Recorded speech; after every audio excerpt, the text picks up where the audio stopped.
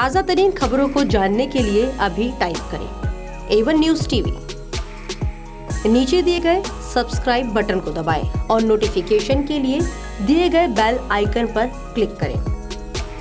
हमारे वीडियोस को like share और कमेंट करें। नमस्कार, मैं हूँ कौशिकी तिवारी एवन न्यूज़ टीवी में आपका स्वागत है। रविवार एक ऐसा दिन है जिसका हम सब बेसब्री से इंतज़ार करते हैं। इस दिन को हम सार्वजनिक अवकाश से मनाते हैं। मगर क्या आप जानते हैं क्यों?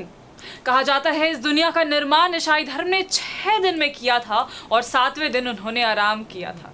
मगर ये तो हो गई धर्मों की बात। लेकिन आखिर क्यों? क्यों हम रविवार को छुट्टी मनाते हैं? तो आज हम जानेंगे, आखिर रविवार को हम क्यों सार्वजनिक अवकाश मनाते हैं।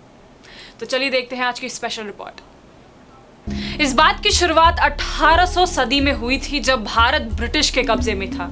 वहीं जब ब्रिटिश रविवार को चर्च जाया करते थे और छुट्टियाँ मनाया करते थे, वहीं दूसरी तरफ़ हमारे मिल के कार्यकर्ता को हफ़्ते के सात दिन काम करना होता था.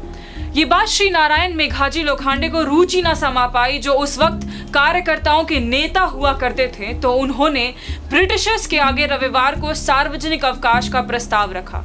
जिसको ब्रिटिशर्स ने ठुकरा दिया।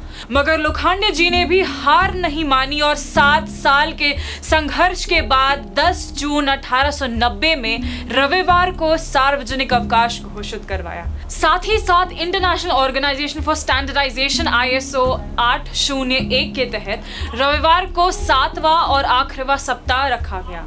इसकी मान्यता हर धर्म में अलग अलग मानी जाती है।